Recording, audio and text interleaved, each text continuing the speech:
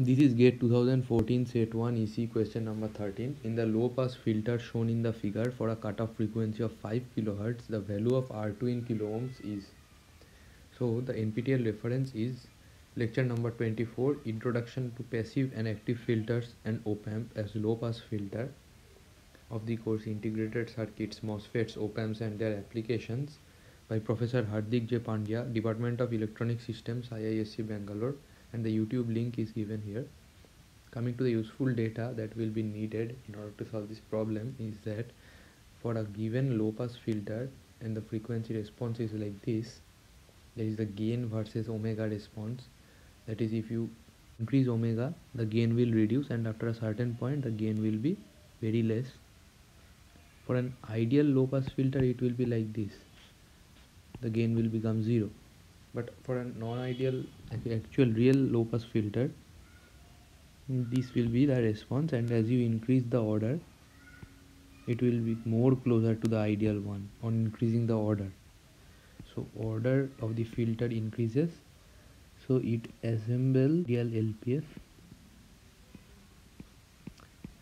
but now we are considering a normal LPF whose response is like this and the value of the frequency for which the gain of the filter is 1 by root 2 times its maximum gain is known as the cutoff frequency. Coming to the solution, this is the given structure of the op amp. Now let us find the gain. Gain AV equal to V0 by Vi if this is Z2 and this is Z1. For an ideal op amp we can write due to virtual ground this is 0 since this is also grounded this should be 0 vi minus 0 by r1 equal to this current equal to this current. Because nothing will go in here because the op amp has infinite input impedance. So v0 minus 0 minus v0 divided by z2 so v0 or r1 we can write as z1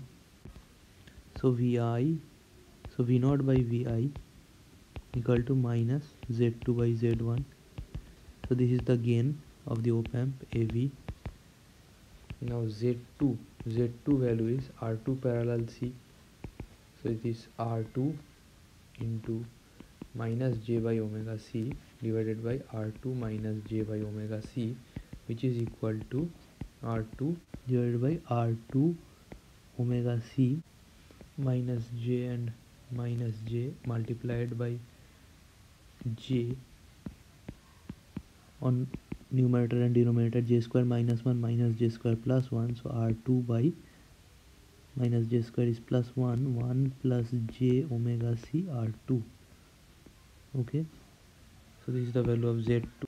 so now the gain is coming out to be V zero by V I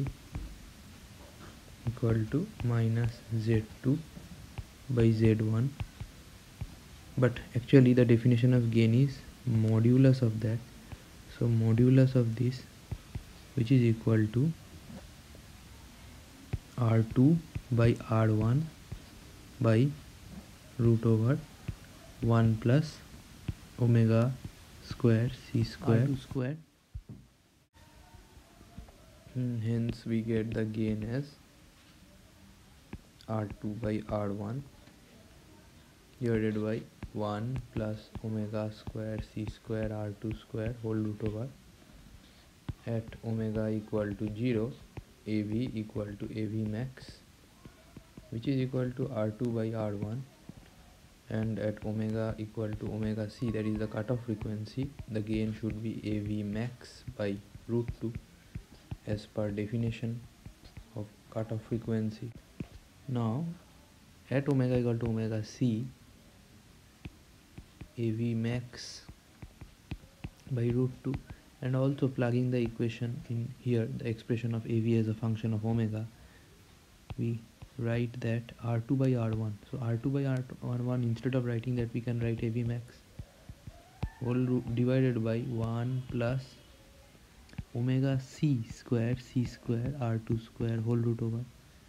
Av av gets cancelled and 1 plus omega c square c square r2 square is 2 squaring both sides. Now omega c square c square r2 square is 1